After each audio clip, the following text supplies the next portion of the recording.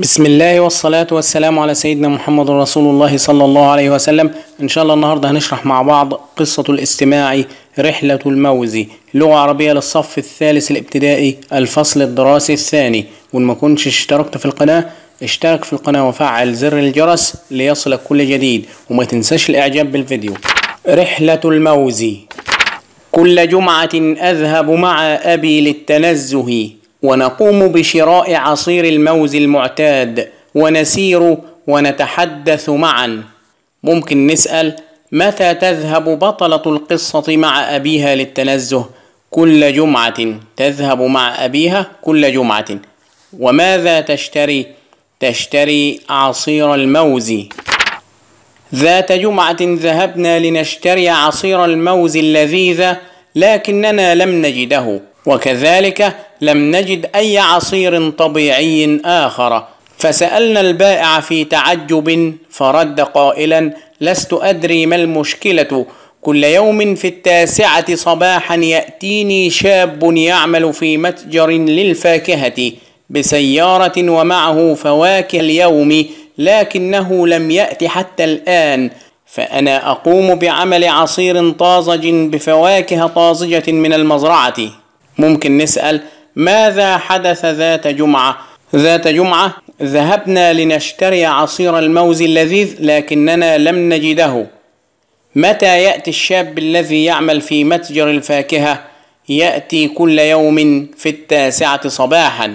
مما يصنع البائع العصير الطبيعي من فواكه المزرعة الطازجة. ونلاحظ يا أبطال المهن في هذه القصة مهنة بائع العصير. هذا بائع عصير. فقرر والدي أن يساعده ويذهب إلى متجر الفاكهة لحل مشكلة هذا البائع وتوجهنا إليه لكننا وجدنا الشاب يقف في متجر خال من أي فاكهة ممكن نسأل ماذا قرر الوالد؟ قرر أن يساعد بائع العصير لماذا قرر الوالد مساعدة بائع العصير؟ لحل مشكلة هذا البائع كيف وجدت بطلة القصة ووالدها الشاب؟ وجد الشاب يقف في متجر خال من أي فاكهة. ونلاحظ يا أبطال المهنة الثانية في هذه القصة بائع الفاكهة وهذا هو بائع الفاكهة. يبقى المهنة الأولى بائع العصير والمهنة الثانية بائع الفاكهة. سأله والدي عن السبب فرد في حزن بكل صراحة لا أدري. كل صباح بعد الفجر مباشرة يأتيني فلاح صاحب مزرعة هنا بجوارنا ويعطيني الفاكهة التي أريدها ثم أذهب بنصف الكمية إلى محل العصير إلا أنه لم يأتي اليوم ممكن نسأل كم كان يبيع بائع الفاكهة لمحل العصير؟ كان يبيع نصف الكمية إلى محل العصير قرر والدي الذهاب إلى الفلاح في مزرعته للإطمئنان عليه وحل المشكلة وبالفعل ذهبنا إليه ووجدناه جالسا حزينا مهموما فسألناه عن السبب فقال أستيقظ كل صباح عند الفجر أركب جراري وأقطف ثمار الفاكهة ثم أتوجه لمحل الفواكه القريب منا لبيعها لكنني عندما ركبت الجرارة سمعت أصواتا ثم انطفأ. ولم يعد يعمل فطلبت مهندسا لإصلاحه ولكنه سيأتيني بعد العصر وسيكون الوقت قد مر ولن أستطيع بيع الثمار اليوم. ممكن نسأل لماذا قرر الوالد الذهاب لصاحب المزرعة؟ للإطمئنان عليه وحل المشكلة. ممكن نسأل كيف وجد الوالد وابنته الفلاح؟ ووجدناه جالسا حزينا مهموما. ممكن نسأل ما سبب حزن الفلاح؟ لأن جراره الذي يحمل عليه ثمار الفاكهة لم يعد يعمل وقد طلب مهندسا لإصلاحه ولكنه سيأتي بعد العصر. ونلاحظ يا أبطال المهنة الثالثة مهنة الفلاح. إذا العصير عندما تشرب كوب عصير من بائع العصير يكون قد جاء عن طريق الفلاح وبائع الفاكهة ثم محل العصير يمر بثلاث مراحل. ابتسمت قائلة أبي مهندس عظيم يستطيع مساعدتك. أليس كذلك يا أبي؟ بلى يا بنيتي أين الجرار؟ قام أبي بإصلاحه سريعا فتحرك الفلاح وجمع الفواكه وذهب إلى المتجر ففرح الشاب كثيرا وشكر أبي وسرعان ما توجه إلى محل العصير لإعطائه الفاكهة التي يريدها فتهلل البائع وشكر أبي كثيرا وقام بإعداد عصير مميز هدية منه على مجهودنا ممكن نسأل ماذا يعمل الأب؟ يعمل الأب مهندسا ممكن نسأل كيف ساعد الأب الفلاح؟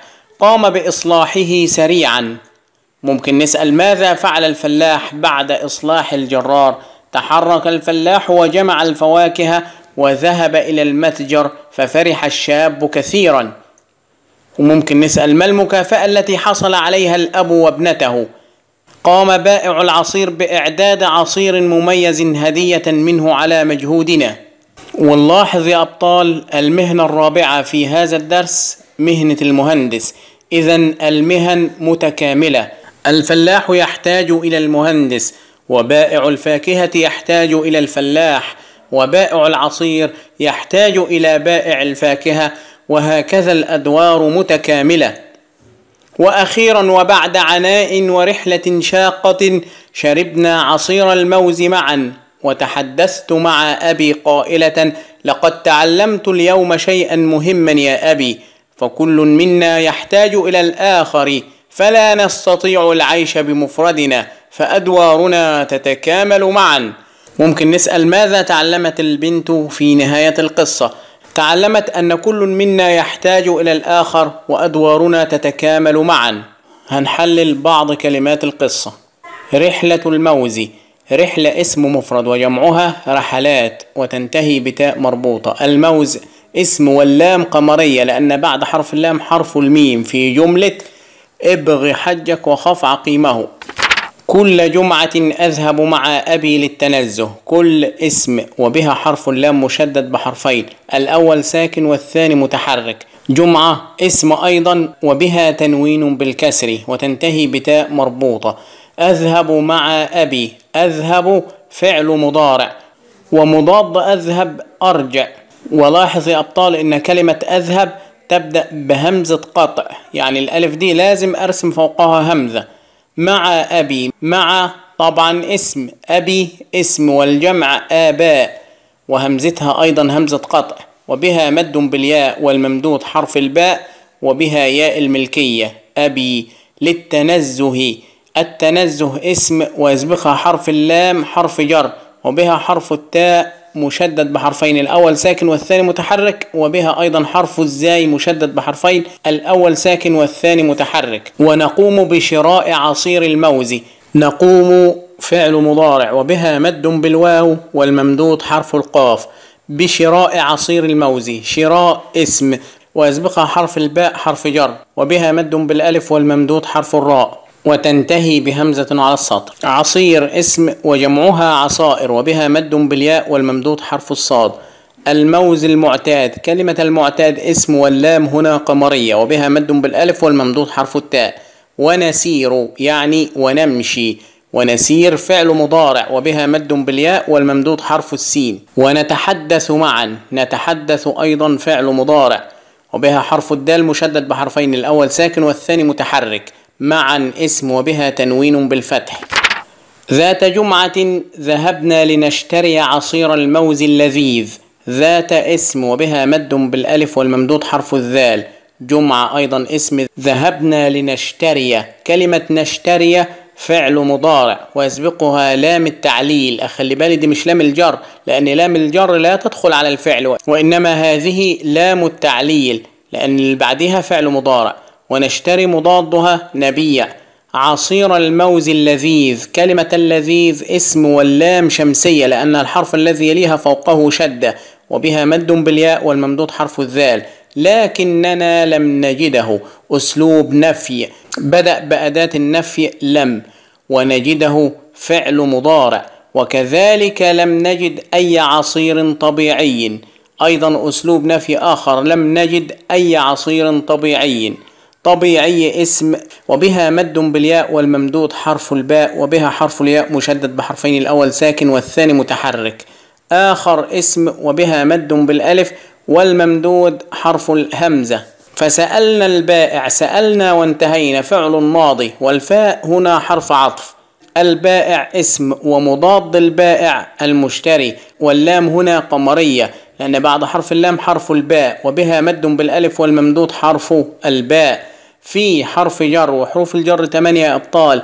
خليك عارفهم من إلى عن على في والباء والكاف واللام. وبها مد بالياء والممدود حرف الفاء. تعجب تعجب اسم لأنها وقعت بعد حرف الجر. وبها حرف الجيم مشدد بحرفين الأول ساكن والثاني متحرك. فرد رد وانتهى فعل ماض. وبها حرف الدال مشدد بحرفين. قائلا قائلا اسم وبها مد بالألف والممدود حرف القاف وبها تنوين بالفتح. لست أدري. أدري فعل مضارع. قائلا لست أدري ما المشكلة. كل يوم في التاسعة صباحا يأتيني شاب يعمل في متجر للفاكهة بسيارة ومعه فواكه اليوم. المشكلة اسم واللام قمرية. يوم اسم مفرد وجمعها أيام وبها تنوين بالكسر. في حرف جر. التاسعة اسم واللام شمسية لأن حرف اللام بعده حرف التاء مشدد بحرفين وبها مد بالألف والممدود حرف التاء. صباحا ظرف زمان ومضاد صباحا مساء وبها مد بالألف والممدود حرف الباء وبها تنوين بالفتح. يأتيني فعل مضارع وبها مد بالياء والممدود حرف التاء. شاب اسم مفرد وجمعها شباب وبها مد بالألف والممدود حرف الشين. يعمل فعل مضارع في متجر للفاكهة. متجر اسم وجمعها متاجر. للفاكهة اسم مفرد وجمعها الفواكه واللام هنا حرف جر.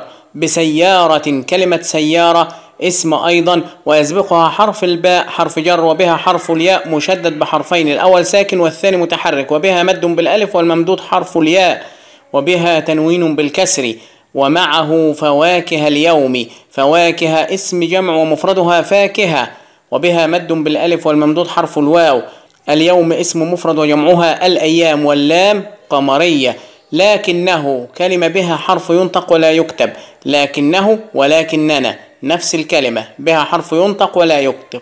لكنه بها حرف النون مشدد بحرفين الأول ساكن والثاني متحرك. لم يأتي حتى الآن. أسلوب نفي أيضا. لم يأتي حتى الآن.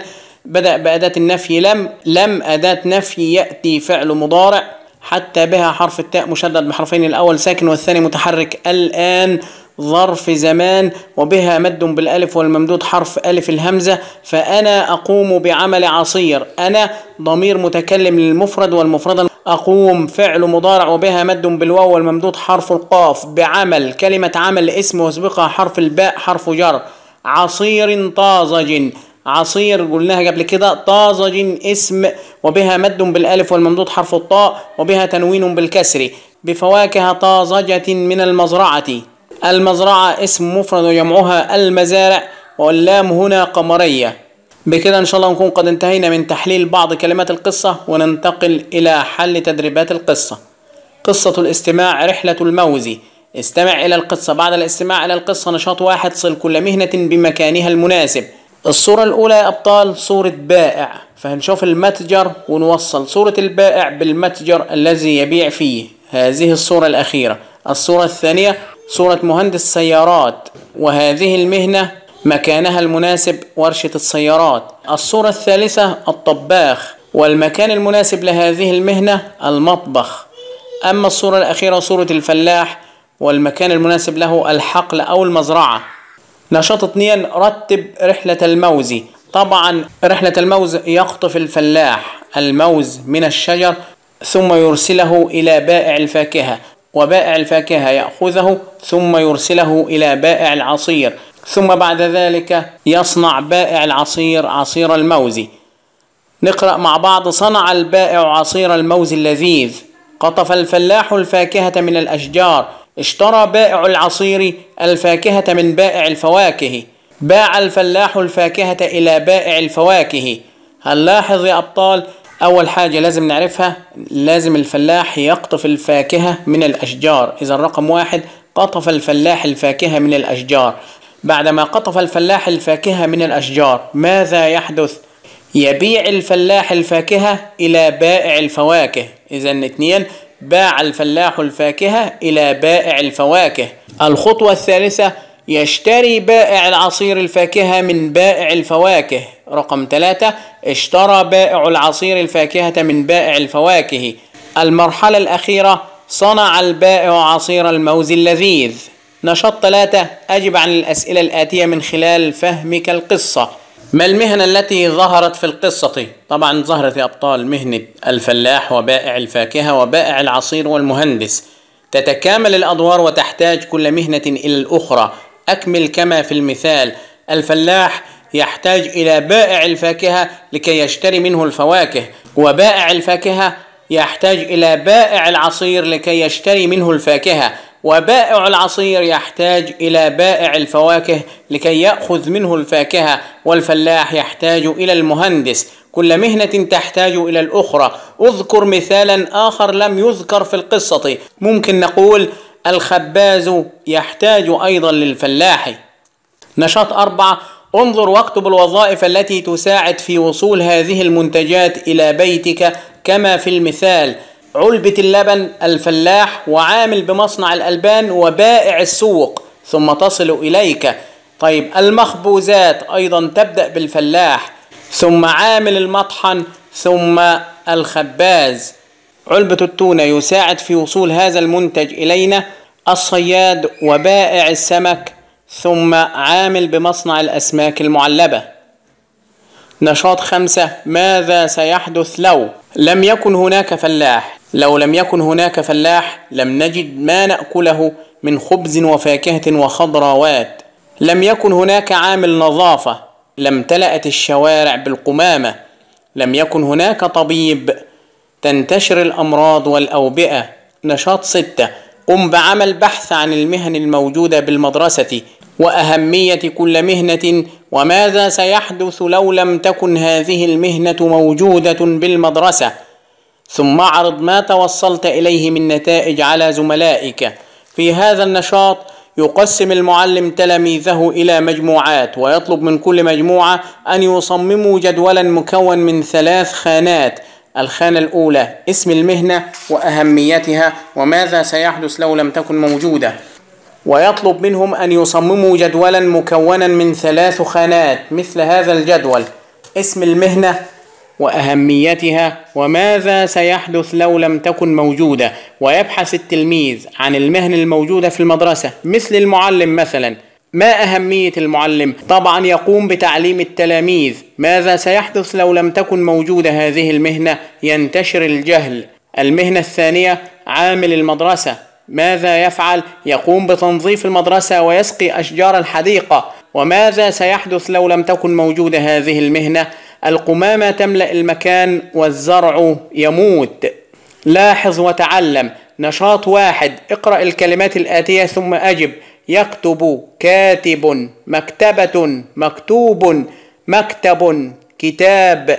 نلاحظ يا أبطال في هذه الكلمات أن هناك ثلاث حروف مكررة في كل الكلمات وهناك حروف موجودة في بعض الكلمات وبعضها لم تكن موجودة. يعني مثلا حرف الياء موجود في الكلمة الأولى وغير موجود في الكلمة الثانية. حرف الألف موجود في الكلمة الثانية وغير موجود في الكلمة الأولى. ولكن ما الموجود في كل الكلمات؟ حرف الكاف والتاء والباء. وهنا كاف تاء باء. وهنا كاف تاء باء. وهنا كاف تاء باء. إذا الحروف المكررة في كل الكلمات حرف الكاف والتاء والباء. قم بتكوين فعل ماض من هذه الأحرف. كتب كونا فعل ماضي كتب. الفعل الماضي هو أصل كل هذه الكلمات. يعني الفعل الماضي كتب أصل كل هذه الكلمات. اكتب جذور الكلمات الآتية. خروج مخرج خارج. لاحظ معايا الحروف المكررة حرف الخاء والراء والجيم. حرف الخاء والراء والجيم. حرف الخاء والراء والجيم. نكون فعل ماضي. خرج. هذه هي الحروف ونكون منها الفعل الماضي. خرج. اثنين سابق متسابق مسبوق. الحروف المكررة في هذه الكلمات حرف السين والباء والقاف. حرف السين والباء والقاف والفعل الماضي منه سبق. ثلاثة عازف يعزف معزوفة. الحروف المكررة حرف العين وحرف الزاي وحرف الفاء. من الفعل الماضي عزف. إذا أصل هذه الكلمات خرج وأصل هذه الكلمات سبق وأصل هذه الكلمات عزف. المهم أرجع الكلمة للماضي بتاعها. نشاط ثلاثة أكمل كما في المثال. المثال صانع ده أصل الكلمة. الماضي بتاعها صنع مصنع صناعة. صانع يصنع. طيب هنا مديني أصل الكلمة. زرع. ممكن أكتب زراعة. ممكن أكتب مزرعة. يزرع. مزارع. مزرعة. كل هذه الكلمات مشتقة من كلمة زرع. طيب مديني جذر مديني أصل الكلمة عمل. ممكن أكتب عامل. معمل. يعمل. عمالة.